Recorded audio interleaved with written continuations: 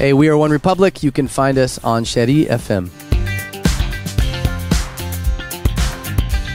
I like to go for a run to whatever city we're in. I go for like maybe five kilometers before a show. Eddie plays video games. Drew I call my wife. He calls his wife. Zach reads books. Zach likes to stretch. Brent doesn't do anything the same every day before a show. We don't have a lot of routines.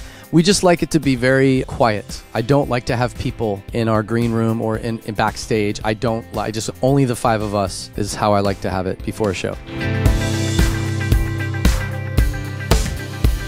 Eddie's my lucky charm. A cup of hot tea, maybe a little bourbon. We burn incense. We like really good smelling incense from India.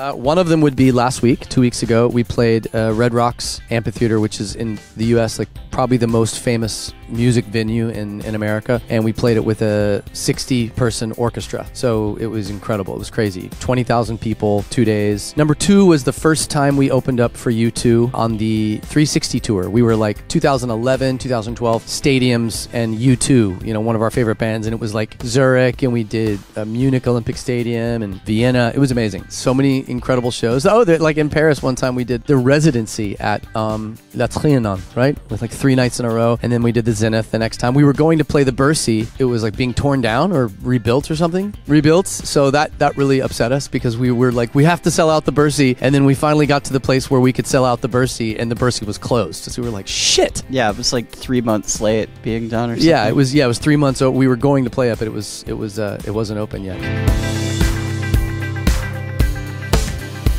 Oh yeah, we we got. That's right. We got a, a, a wheel of Parmesan cheese. Yeah, and it's like you can't travel with it. There's nothing you can do with it. It's like sometimes people they give gifts because they, and they mean it it's from their heart, but they don't understand. We can't fly with this. Like we can't. What are we gonna do? Eat like 19 pounds of cheese like right now? One time we played Carthage, Tunisia, and the president of Tunisia, the prime minister of Tunisia. Do they have a president? The the highest ranking politician in Tunisia came and gave us this gift that was this political plaque that was basically saying you are the first Western act to play Tunisia in 10 years, and this is the key to the city of Carthage. It was some crazy political gift from the Prime Minister of Tunisia, and the last person that had played there was like Rod Stewart 10 years ago, and we played like the equivalent of not their Parthenon, but like um, it was built by the Romans in like 2,000 years ago, and we played that same stage. There were columns coming up. It was crazy. Third most impressive gift. Oh, Disneyland. No, Disney. Disney gave us for like four years unlimited VIP access to Disney to all Disneylands, Euro Disney, Disneyland, Disney World, and then we, they gave us the gift which we haven't used yet, where we can stay in the castle for like one night. So that's probably the, that's probably the most gangster gift. You have to be out by like 8 a.m. yeah, you have to be out by eight. Yeah,